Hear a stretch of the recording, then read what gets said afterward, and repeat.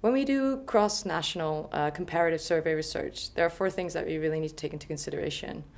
One is that the team needs to have contextual expertise. So while it's really important to have an overall organizing body that understands the global context and the context of the project, you also need local team members who really know the local policy context, the kind of issues that are playing in that particular society, and these need to be translated into the national survey, which is an adaptation of the international survey.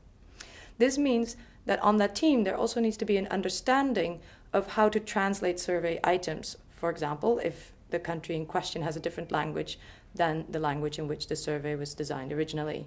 This means that they need to understand that literal translation is not necessarily better than translation in terms of meaning. That is, the questions need to be translated so that they can be understood by the general population in that country.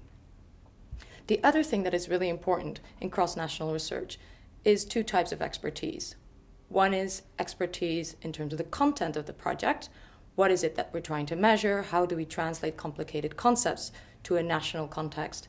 But also expertise in terms of the analysis that you're going to do. While designing a context or a survey at the national level, you need to take into consideration that you're going to have to analyze the data at a national level as well as a global level. So, expertise in statistical analysis combined with an expertise in terms of the content of the particular survey that we're doing, in this case around kids and their internet use, is fundamentally important to be able to design the survey and later analyze it. And this brings me to the last point that is really important an understanding of the audience of the publication that is a survey. The survey will come up with results that need to be published in the national context as well as the global context. So, in designing the questions and analyzing the data, we need to keep in mind that there is a national audience or even a local audience as well as a global audience.